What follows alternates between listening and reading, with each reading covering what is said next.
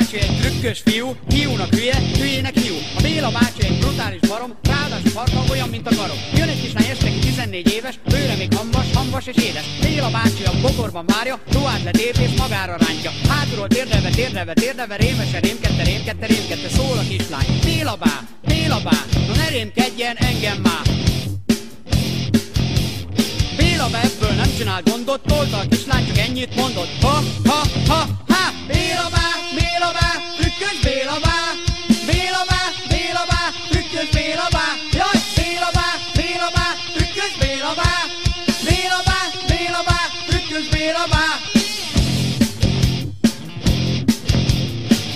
12 évig tartott a lecke, tolta a kislány előről és segbe, visít a kislány, Béla bá, Béla bá, toljon, toljon, toljon már!